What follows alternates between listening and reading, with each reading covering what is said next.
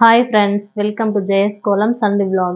நம்ம சேனலில் இன்னைக்கு பீர்க்கங்காய் பச்சை வேர்க்கடலை பண்ணைக்கீரை சேர்த்து கடையில் தான் பண்ண போகிறோம் வாங்க எப்படி பண்ணுறதுன்னு பார்க்கலாம்.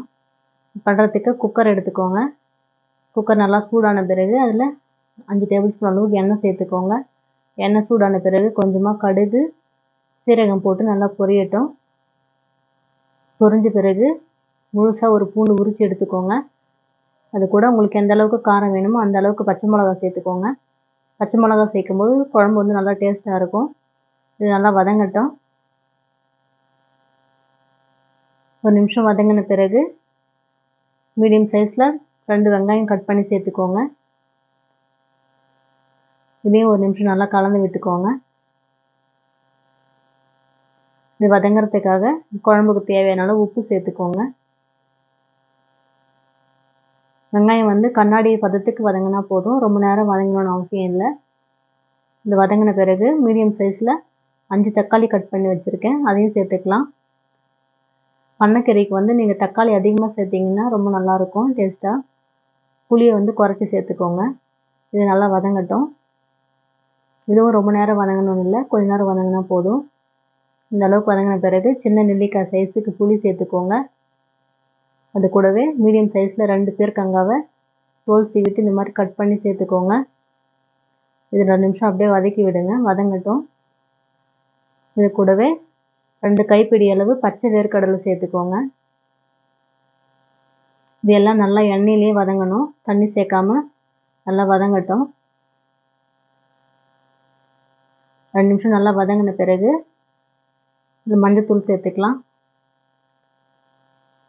கால் டீஸ்பூன் மஞ்சத்தூள் ரெண்டு பிஞ்ச் அளவுக்கு பெருங்காயம் சேர்த்துக்கோங்க. சேர்த்துட்டு இது பச்சை வாசனை போகிற வரைக்கும் நல்லா கலந்து விட்டுட்டு கீரை சேர்த்துக்கலாம். பண்ணைக்கீரையை வந்து நல்லா அலசிட்டு தண்ணி இல்லாமல் சேர்த்துக்கோங்க. இது நல்லா மிக்ஸ் பண்ணி விடுங்க. எண்ணெயிலே வதங்கட்டும். நல்லா சுருண்டு வரணும். அது வரைக்கும் நல்லா வதக்கி விட்டுக்கோங்க. இந்த அளவுக்கு நல்லா வதங்கி வரணும். அதுக்கப்புறமா தான் தண்ணி சேர்க்கணும். கீரை வதங்கும் போது தண்ணி விடும். அதனால் நல்லா வதங்கின பிறகு கீரை முழுகிற அளவுக்கு தண்ணி சேர்த்துக்கோங்க. இந்த அளவுக்கு தண்ணி சேர்த்தா போதும். குக்கரை மூடி அஞ்சு விசில் விட்டு எடுத்து எடுத்துக்கலாம்.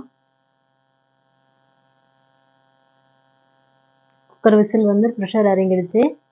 இதை பருப்பு சட்டியில் மாற்றி கடைஞ்சி எடுத்துக்கலாம். கீரை பீர்க்கங்காய் வேர்க்கடல் எல்லாமே நல்லா சாஃப்டாக வெந்திருக்கு.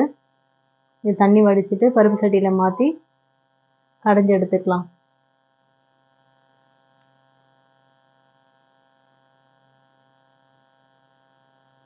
நல்லா சாஃப்டாக கடைஞ்சி எடுத்துக்கோங்க. இந்த அளவுக்கு சாஃப்டாக கடைஞ்சிருக்கணும் தாளிச்சிடலாம். தாளிக்கிறதுக்காக அடுப்பில் கடாயை வச்சுட்டு ரெண்டு டேபிள் ஸ்பூன் அளவுக்கு எண்ணெய் சேர்த்துக்கோங்க. நல்லா கொஞ்சமாக கடுகு சீரகம் போட்டு நல்லா பொரியட்டும். மீடியம் சைஸில் ஒரு வெங்காயம் கட் பண்ணி சேர்த்துக்கோங்க. அது கூடவே ஒரு கொத்து கருவேப்பிலை சேர்த்துக்கோங்க. சேர்த்துட்டு நல்லா வதக்கி விட்டுருங்க. இது நல்லா வதங்கட்டும்.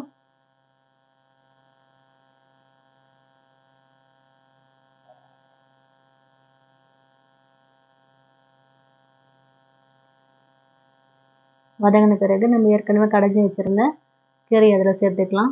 கீரை வந்து இந்த அளவுக்கு நல்லா திக்காக இருக்கணும். அப்போ தான் நல்லா டேஸ்ட்டாக இருக்கும். இதை வந்து சப்பாத்திக்கு சாப்பிட்லாம். சாதம் களி எல்லாத்துக்குமே சூப்பராக இருக்கும். இந்த பண்ணைக்கீரை இருக்கிற சீசன்லேயும் இந்த மாதிரி ஒரு முறை செஞ்சு பாருங்கள் ரொம்ப சூப்பராக டேஸ்ட்டாக இருக்கும். ஒரு டிஃப்ரெண்ட்டான பண்ணைக்கீரை கடையில் இது. ரொம்ப டேஸ்ட்டாக இருக்கும். பசங்களும் விரும்பி சாப்பிடுவாங்க. அவ்வளோதாங்க இது ஒரு பாத்திரத்தில் மாற்றி எடுத்துக்கலாம். ரொம்ப டிஃப்ரெண்ட்டான ஒரு பண்ணைக்கீரை கடையில் ரெடி ஆகிடுச்சு நீங்களும் உங்கள் வீட்டில் ட்ரை பண்ணி பாருங்கள் இந்த வீடியோ உங்களுக்கு பிடிச்சிருந்துச்சுன்னா லைக் பண்ணுங்கள் ஷேர் பண்ணுங்கள் கமெண்ட் பண்ணுங்கள் மறக்காமல் சப்ஸ்கிரைப் பண்ணுங்கள்